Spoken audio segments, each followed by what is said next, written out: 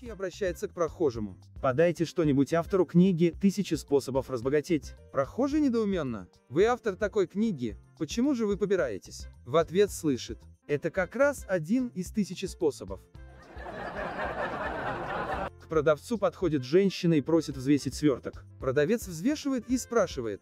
Тут ровно кило 200. А что у вас там? Женщина злобно. 2 килограмма мяса, которое я купила у вас 10 минут назад.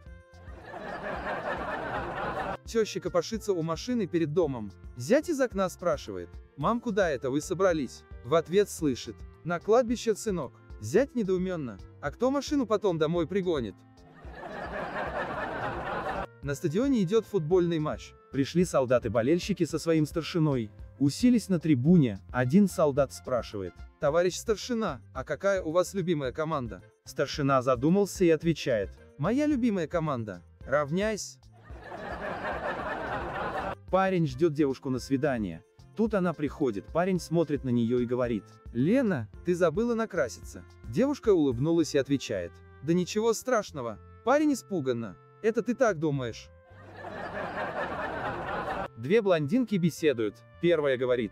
А как ты думаешь, зачем на вертолете ставят такой большой пропеллер? Вторая отвечает.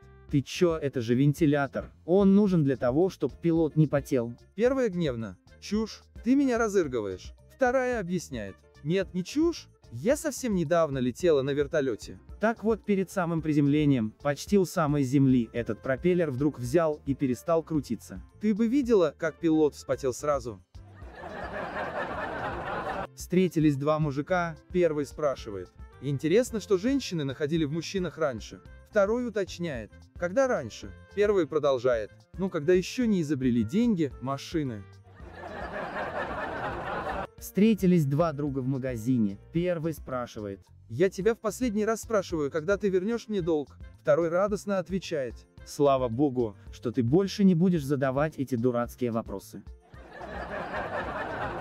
Женщина спрашивает своего соседа-мужчину. Уважаемый, а почему вы не женитесь? Мужик посмотрел на нее и отвечает. Да понимаете, боюсь. Однажды ко мне на улице незнакомая женщина подошла, обматерила, лицо все поцарапала, а после лукаво так выдала. Извините, а я подумала, что вы мой муж.